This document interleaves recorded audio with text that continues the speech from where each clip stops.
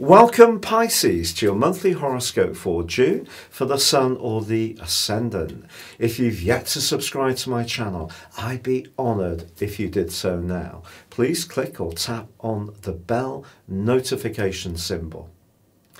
We continue to be in challenging times, and if you'd like to connect with me directly, you can do so on Twitter at Horoscope Ace. You'd be very welcome.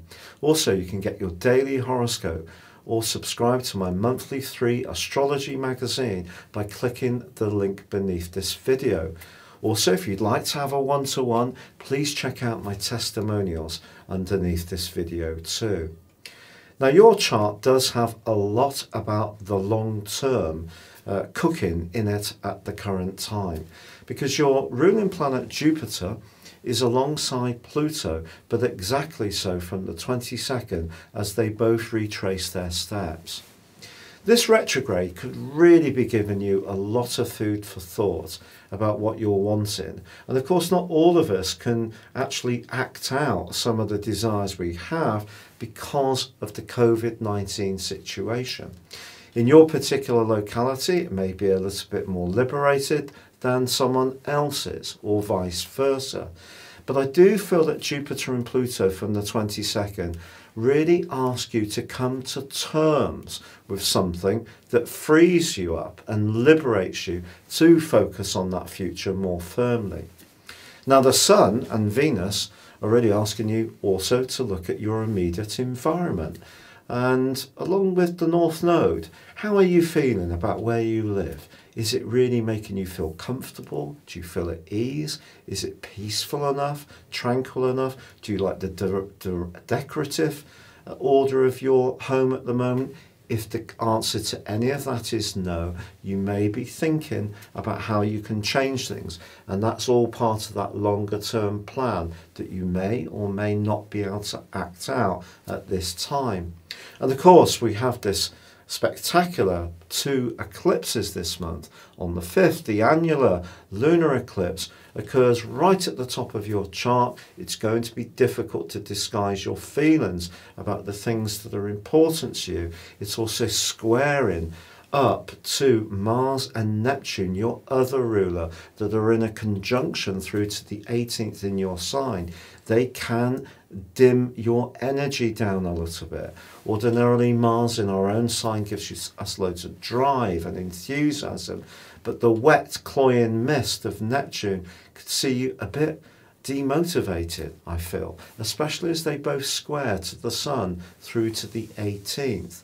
The Sun's in a tender part of your situation, with Venus retrograde in the fourth house and the North Node there as well. You're wanting to set that longer term plan based on your emotional responses, I feel.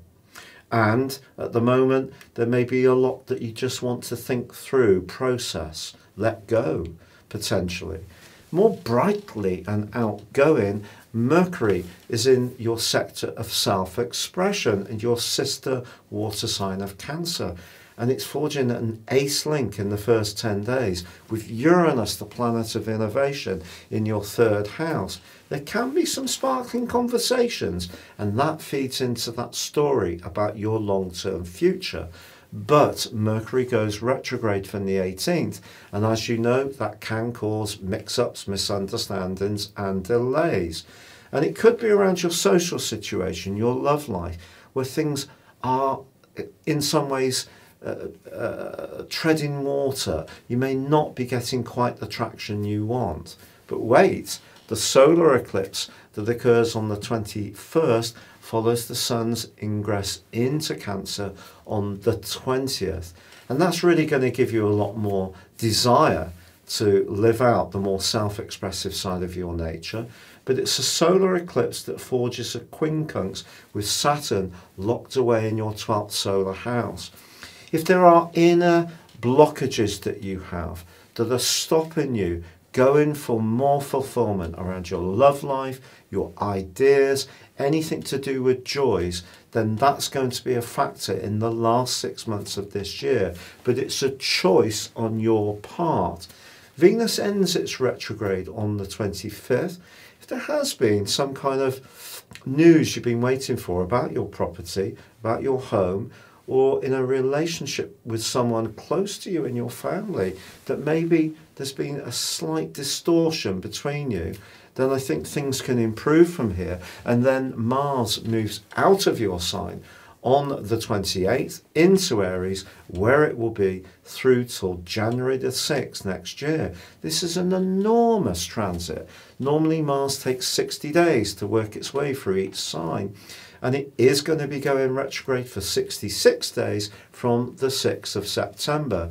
But this is going to give you a lot more desire at a more practical level to improve your finance and income. And if that's been hit by the challenges of COVID 19, you're given a wonderful asset here to fight back and get on the front foot.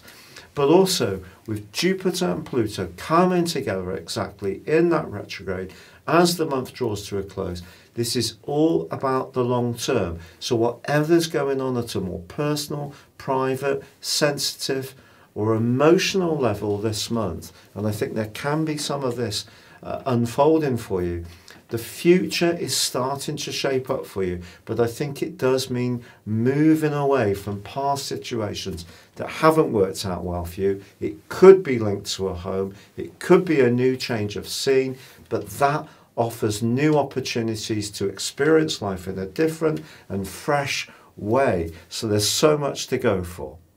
If you'd like to check out that one to one reading with me, please do see those testimonials beneath. If you're learning more about astrology and want to go beyond your zodiac sign, check out my reports. You can order a 30% off combination of the character analysis and your 12 month forecast, again, beneath, uh, seeing beneath this video. But for now, stay safe, take care, and good luck, and goodbye.